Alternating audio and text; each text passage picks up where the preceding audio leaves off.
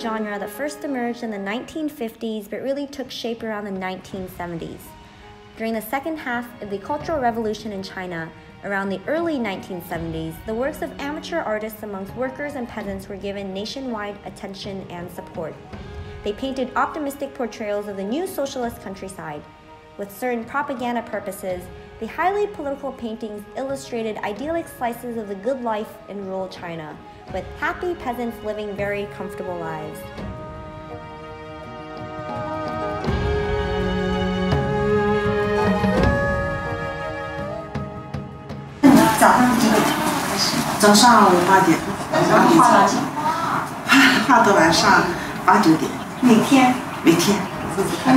早上几点开始？早上八点。画到几？画到晚上八九点。每天？每天。天呐，就是这样的，十几个小时要画下来。嗯。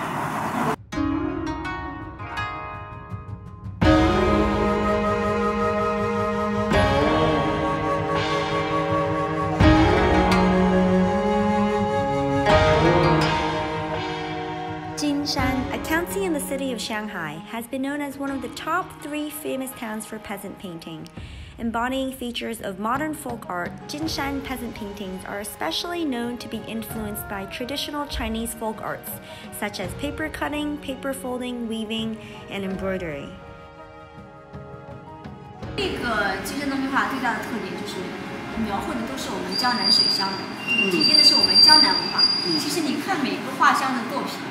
就很明显能感觉出来，就是哎，这个是金山的，哎，这个可能就是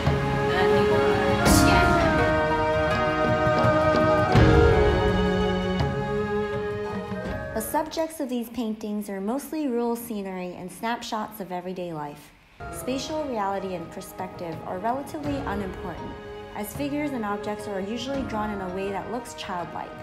Using bright colors and concise techniques, they successfully depict a love for ordinary life of children, of work, and family.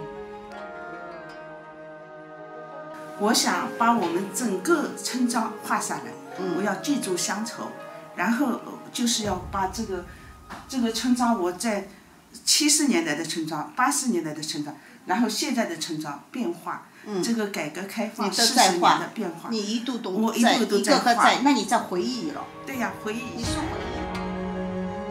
Taken together, these elements give Chinese peasant art a very distinct style that feels both sincere and creative.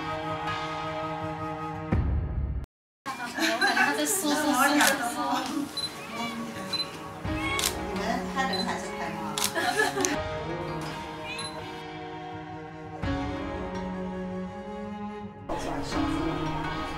晚上没有灯了这个很暗。嗯平时呢我就阳光好的时候就是住在这个